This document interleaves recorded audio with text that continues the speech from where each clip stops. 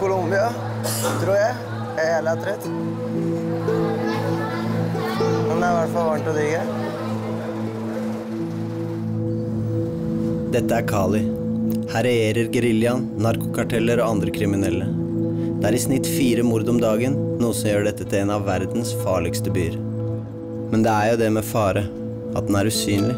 Vi ser den ikke, den syns ikke på bildene vi tar, men du kan merke den. Og plutselig så ser vi det nå. Akkurat kjørt forbi en bil full av kulehull med et lik som lå foran. Så virkeligheten fra Colombia begynner å, begynner å feste seg, så får vi se åssen det blir.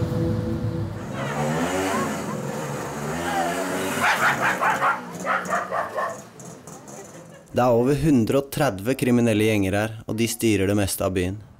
Gutten jeg skal møte, bor i et gjengkontrollert område. Hadde det ikke vært for Røde Kors, så kunne jeg ikke ha vært her. Men de har kred både hos myndigheter, gerilja og gangsterne. Så når de har gjort en avtale, og når de er med, så er det greit. Giancarlos heter gutten jeg skal møte. Han har måttet flytte hjemmefra og få lov å bo midlertidig hos tanta si. Lady. Lady. Lady. Giancarlos har fått dele seng med to av tanta sine barn. Hola. ¿Cómo estás?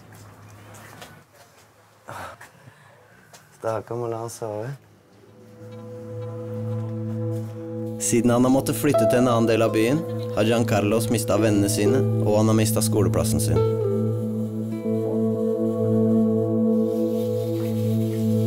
Hola. ¿Qué tal?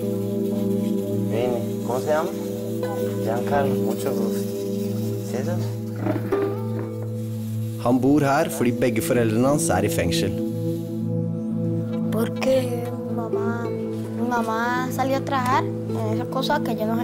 Entonces yo estaba almorzando y ella me dijo ahí, yo estaba viendo muñecos para irme a estudiar, entonces yo salgo de la casa y cuando mi hermano me dice que han cogido a los policías y mi mamá, entonces yo no le creo.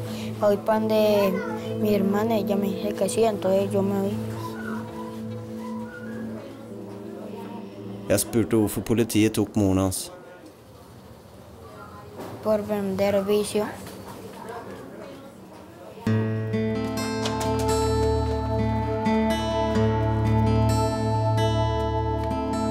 Perdona.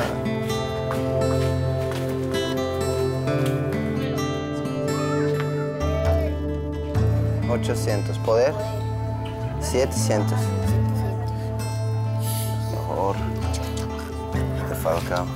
Nydelig sted. Folk er helt fantastiske og åpne og fulle av liv og kjærlighet.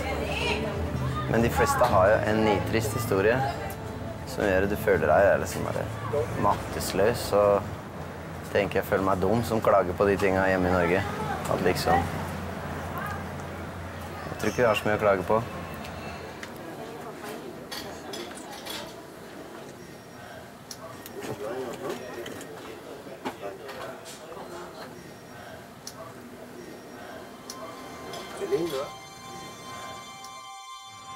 Det som har skjedd med mammaen og pappaen til Giancarlos, er et resultat av en by gjennomsyra av vold, arbeidsløshet og kriminalitet.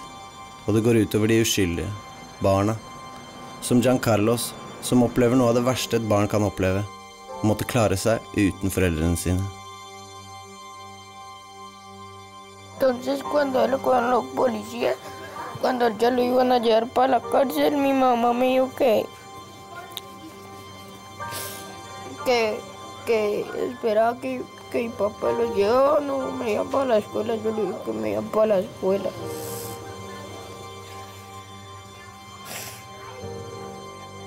Og nå er også hun i fengsel.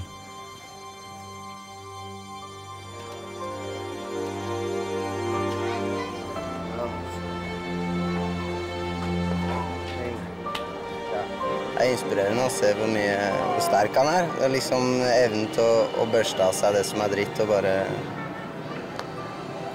Og fokusere på det som, det som er fett. Jeg, bare, jeg, er, jeg er imponert. Han er, han er tøffere enn meg.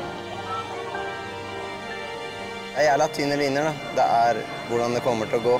Og nå som man har blitt kjent med den og blir glad i den, så vil jeg jo at det skal gå bra.